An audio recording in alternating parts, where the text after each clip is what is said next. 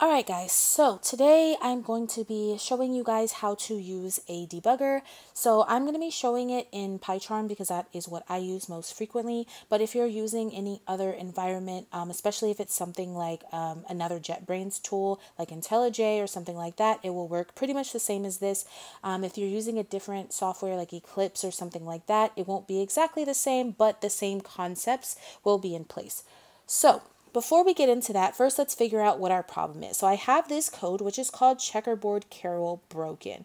So if I run this, right, what we want is we want to draw a checkerboard, right? And we all know what a checkerboard looks like. Basically, every other square is, you know, red or white and the other other squares are black. In this case, this is Karel, so every other square has a beeper and all the squares in between should not have a beeper. And looking at this, it looks fine. So you might ask, okay, well, why is this broken? Right? So let's close this. Um, and let's run another case where we run a 7 by 7 world. And let's see if this works in that case. And no, this does not work.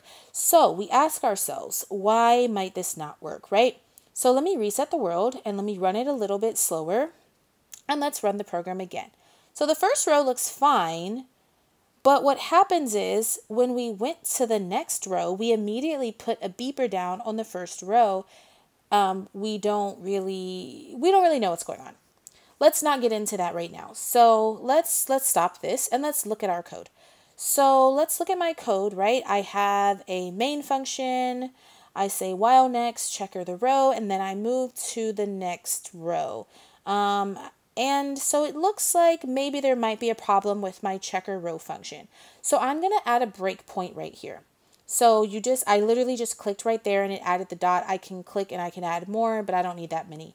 And so once I've added these breakpoints, instead of clicking the play button here, all I have to do is click the little bug and I can do the same, run program, and it's to stop where I put my breakpoint.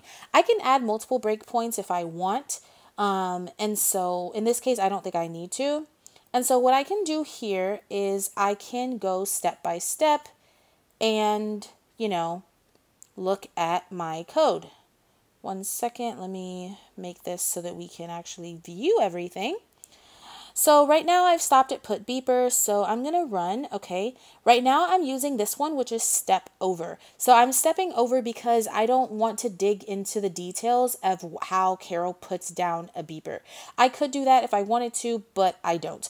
So in this case, I'm just to step over. There's also a step into, and then there's a step into my code. So what I would use most frequently is either this step over or I would use the step into my code. So I'll kind of demonstrate some of these a little bit later, but for now, let's just focus on solving the problem at hand. So I'm pushing the step over. So I put down a beeper as we can see, so that's fine. I said while the front is clear, I'm gonna move one step, and then if the front is still clear, I'll move another step because I don't wanna put a beeper where I'm standing right now and it looks like that worked. And then I put down another beeper. So, so far this looks fine, right? But we already decided that the first row looked fine.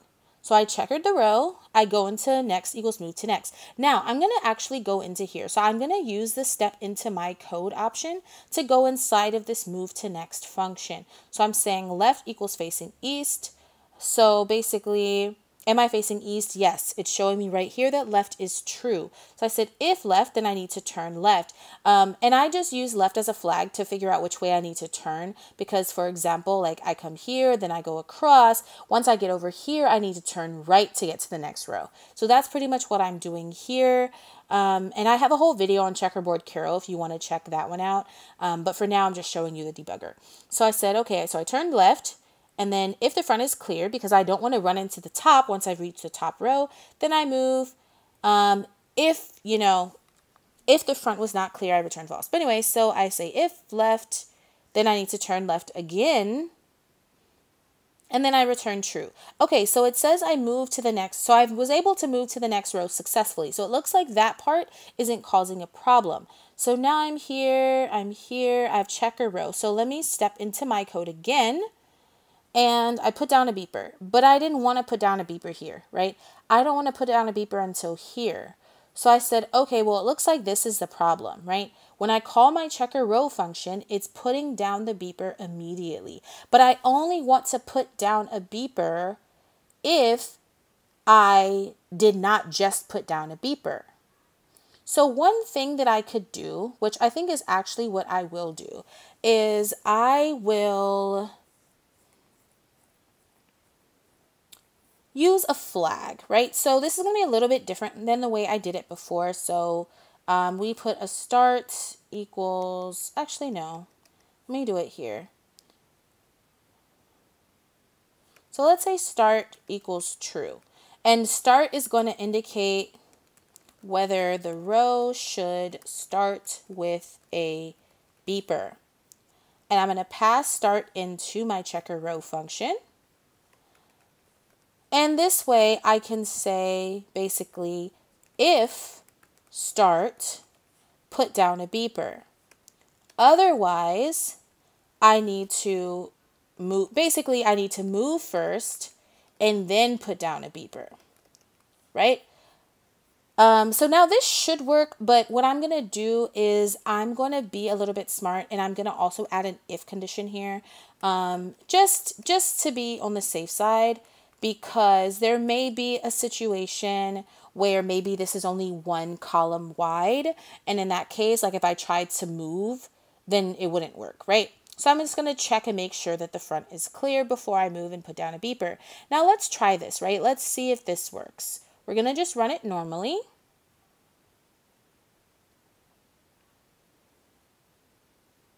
That still didn't work. Now, why didn't this work? Let's turn our debugger back on, right? So let's go back into debug mode. And we run the program. We, let me move this over here. So I'm going to step over. Okay, so I said if start, put beeper, while front is clear, move, if front is clear, move, blah, blah, blah. This all looks fine so far.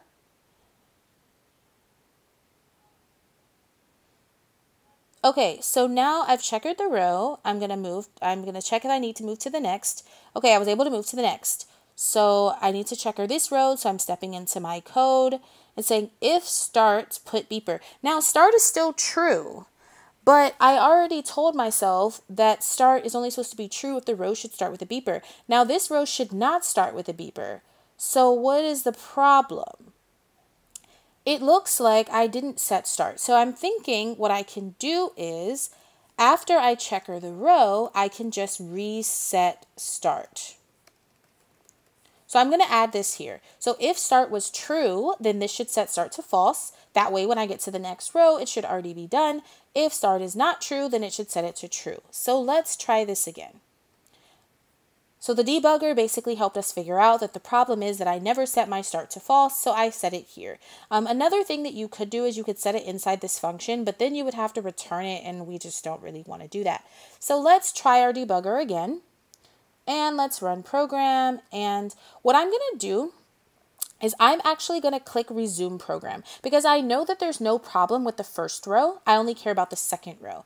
And so because this breakpoint is here, when I click resume program, it's going to go all the way until it reaches the breakpoint again at checker row. So now we're here. So now it's telling me that start is false. So now we can check whether this behaves properly when start is false. So I said, okay, I went to the else. If front is clear, I move. Okay, I put down a beeper. Then I say, while front is clear, I move. If front is clear, I move again. I put down a beeper. Okay, this so far is looking good, right? Okay, yeah, that seemed to work. So I reset start. Now start is true again. Then I move to the next. And now if I go into checker row, which actually since I have a breakpoint here, even if I step over, it will still go there. But if I did not have a breakpoint, I would have needed to use the step into my code to get here. So I said, okay, if start, start is true, we're just gonna double check this again. I put down the beeper. This is the same as the first row, so I don't expect any problems here. And yeah, this looks pretty good. Cool. Okay, so now let's resume. I'm going to do one row at a time. I'm just going to keep clicking resume. And yeah, this is looking good. So I'm actually going to remove the breakpoint and then I'm going to click resume and this should finish out the rest of the program. And this looks like a solid checkerboard. So now we've made some changes. So it is generally a good idea to go back and, you know, rerun our other case. So I'm going to stop this and I'm going to run again with the 8x8 world and I'm going to run the program. Let's go fast. And there's a problem. What is the problem? The problem is that we said, okay, this row should start with a beeper, but now we shouldn't start with a beeper. But I'm saying it shouldn't start with a beeper, but this is still kind of, you know, not really working because now every, this row is starting with a beeper, this row is not starting with a beeper. So it's still drawing vertical lines, and this is why we have to check. So now let's go back to our debugger. What could be the problem? Now, we have an idea. We already figured out that our start was a problem. So let's look at this again. So what could we do in this case to adjust start? Um, let's come here. Let's go back into our debugger. And let's run the program. Let's go, go, go.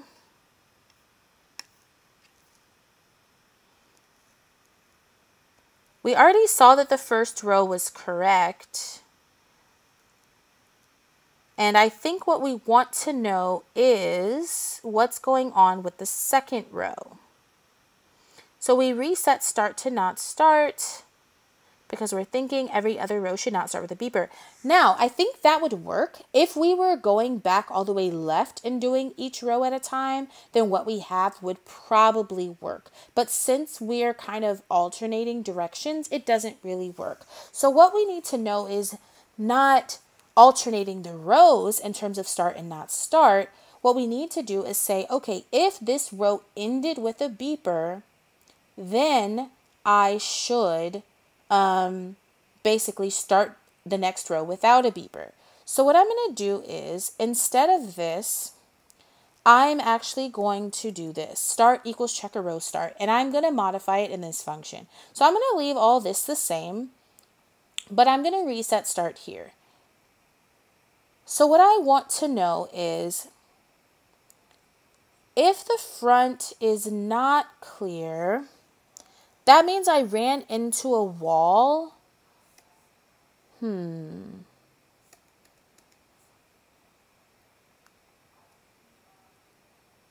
Let me think about this. So if start, I put a beeper, okay, that would be the first one. Then else, okay, so else is the second row. So we're saying, so, okay, else would be the second row. I said, if the front is clear, I move, and then I put a beeper, which is not what I want to do. So here I need start to be true, actually, is what I want. Right where I'm standing, I want start to be true. So how could I have made start true at this stage? So let's let's re-simulate the first row. So in the first row, start would have been true. So I would have put down a beeper and then I would have said, while the front is clear, I would have moved.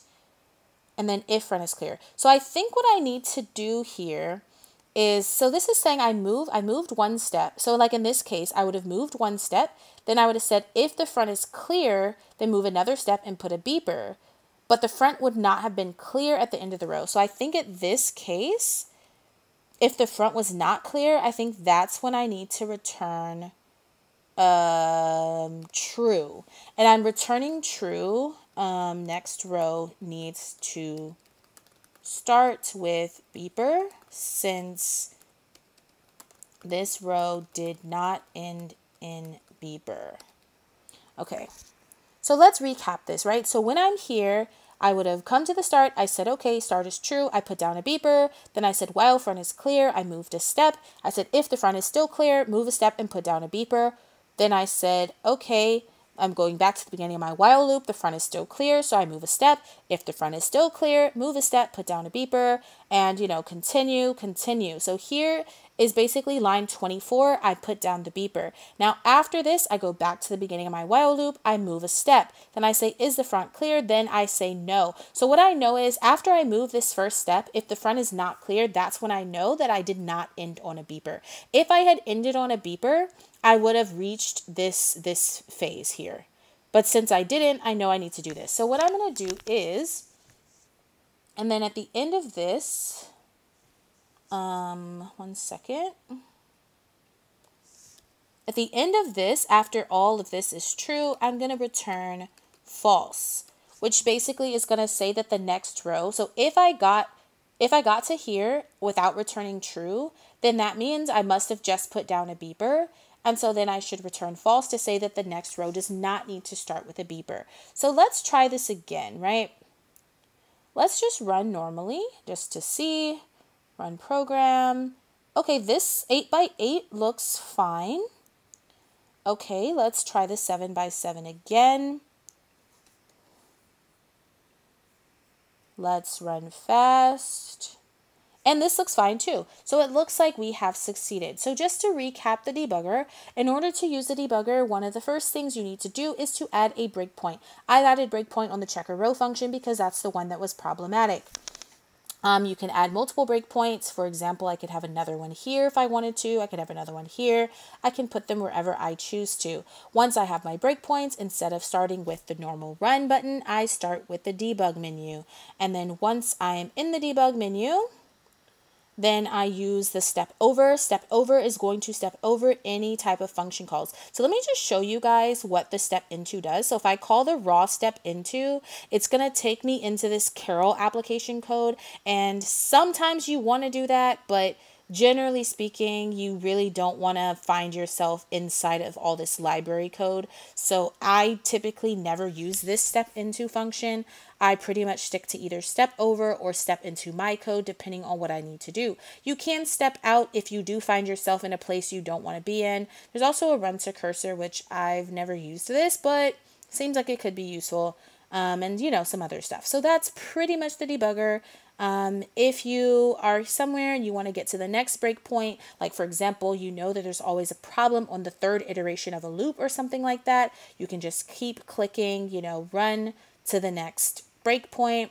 And, you know, this is kind of what you can do to do that. If you decide you are done and you want to, you know, just skip the rest of the breakpoints, you can remove all these breakpoints at any time. I can run to the next breakpoint but I didn't delete this one. So now if I delete this one and I run again, then it should finish the program because at this point I don't have any more breakpoints.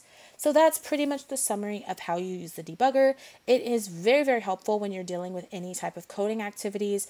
A lot of the time I find myself, if I'm solving something like on LeetCode or something like that, I will literally copy and paste my code into PyCharm just so that I can use the debugger because trying to debug without a debugger is very, very difficult. So I hope this video was helpful. If it was, please don't forget to like, subscribe, and share with all your friends.